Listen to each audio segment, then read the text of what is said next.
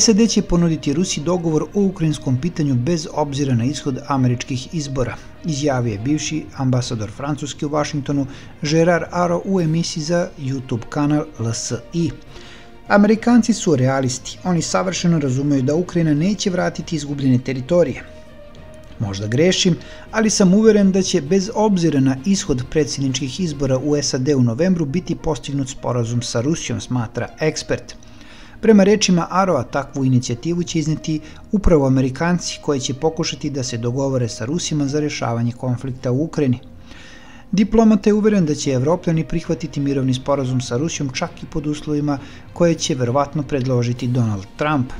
Mrljaćemo, ali ćemo prihvatiti jer će to za nas biti olakšanje, pretpostavlja Aro. Ruski lider Vladimir Putin je više puta naglašavao spremnost Moskve za rešavanje ukrajinske krize diplomatskim putem.